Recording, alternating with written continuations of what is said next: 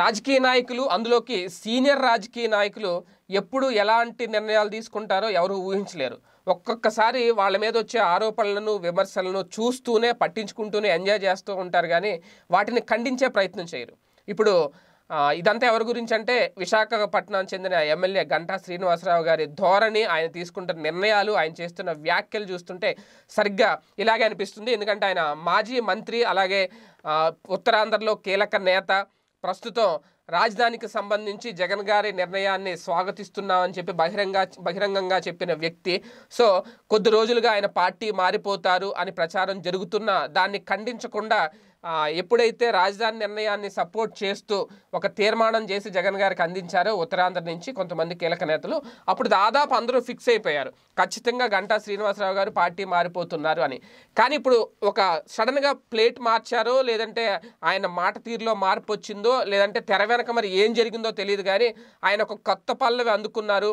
అది కూడా ఆ పల్లవి ఏంటనే చూస్తే రెండు పడవల మీద కాళేస్తున్నారా రెండు పడవల రాజకీయాలు మొదలుపెట్టారా? ఒకటి పార్టీ అధినేత తానున్న పార్టీ అధినేత చంద్రబాబు గారి మాట జవదాటను అని చెబుతూనే తాను పార్టీ మారేది లేదు పార్టీ మారుతున్నాననే ప్రచారాలన్నీ నేను ఖండిస్తున్నాను. నేను ఖచ్చితంగా తెలుగుదేశం పార్టీలోనే కొనసాగుతానని చెప్తూ అదే టైంలో ఉత్తరాంధ్రలో రాజధాని ఏర్పాటును తాను స్వాగతిస్తున్నాను. విశాఖలో రాజధాని పెట్టడాన్ని ఆయన స్వాగతిస్తున్నారట. ఆ స్వాగతిస్తున్నానని చెప్పడం కూడా నిజంగా ఒక షాకింగ్ అంశం. అయితే ఇదే టైంలో అమరావతి రైతులకు సంబంధించి వాళ్ళు చేస్తున్న ఆందోళనలకు వాళ్ళు వాళ్ళ పరిష్క డిమాండ్లు ఏదైతే ఉన్నాయో ఆ డిమాండ్లకు తరిగి తగిన పరిష్కారం చేసి వాళ్ళకి న్యాయం చేయాలి అని చెప్పి జగన్ ప్రభుత్వాన్ని కోరడం. జగన్ సారీ జగన్ ప్రభుత్వాన్ని డిమాండ్ చేయడం. ఇవన్నీ కూడా. అంటే అమరావతి రైతులకు మద్దతుగా నిలవాలన్న టీడీపీ అధినేత చంద్రబాబు ఆదేశాలకు ఆయన కట్టుబడి ఉన్నానని చెబుతూనే అదే టైంలో పార్టీ మారనని ఒక క్లారిటీ ఇస్తూ మరోపక్క విశాఖలో రాజధాని ఏర్పాటును కూడా స్వాగతిస్తున్నానని చెప్పడం.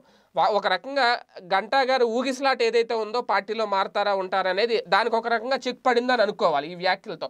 అయితే ఇదే టైంలో విశాఖపై ప్రేమ అలాగే బాబు మాటను జవదాటని ఒక పార్టీలో ఒక కీలక నేతగా రెండు పడవల మీద ఆయన ప్రయాణం చేస్తున్నారు అనేది రాజకీయ విశ్లేషకుల అభిప్రాయం. మరి ఈ గంటా గారి నిర్ణయం ఎలా ఉంటుందో మరి నిజంగా పార్టీలో కొనసాగుతారో లేదా ఇలాగే ఉంటారో మరి ఆయన ఎందుకు ఈ స్టాండ్ తీసుకున్నారు ఏంటో అనేది ఆ లోపల వెనక ఏం జరిగింది తెరవనక అనేది నాకు తెలిసి కొన్ని రోజుల్లో బయటకు వచ్చే అవకాశం ఉంటుంది. చూద్దాం ఏం జరుగుతుందో. స్టేట్ మీరెక్కడున్నా ఏం చేస్తున్నా ప్రపంచంలో ఏం జరుగుతుందనేది ఇప్పుడు మీకు పెట్లోకి తెచ్చేసింది one line app.